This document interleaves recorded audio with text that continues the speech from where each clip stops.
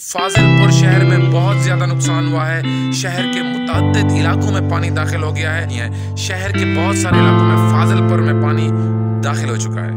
फाजिलपुर शहर बहुत सारे इलाके डूब गए। राजनपुर, जो राजनपुर डिस्ट्रिक्ट के बहुत सारे इलाके डूब चुके हैं। मुजफ्फरगढ़ के बहुत सारे इलाके डूब चुके हैं। इसी तरह कोटोदू के बहुत सारे इलाके डूब चुके हैं। इस टाइम वसे बहुत बड़े सैलाब की जद में है। हुकूमत को चाहिए शुरू करें क्योंकि वसीब का बहुत बुरा हाल है। वसीब में खड़ी फ़सलें तबाह हो चुकी हैं। सराकी वसीब की ये पूरी पट्टी जो इंडस हाईवे पे है उसके बहुत सारे इलाके सैलाब से से मुतासर हैं।